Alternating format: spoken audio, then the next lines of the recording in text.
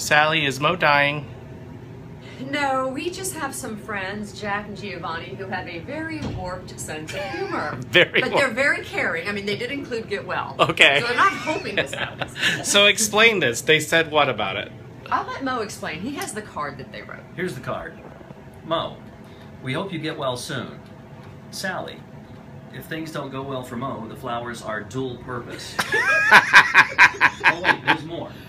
P.S. Mo, can we have your car if you don't make it? Love, Geo, and Jack.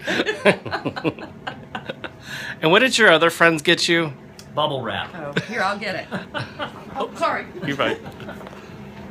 Is that what's the bubble wrap signify? That if I'm going to go on a boat ride, I should wrap myself in it. This is from Paul and his son Hunter. It's actually kind of a good idea.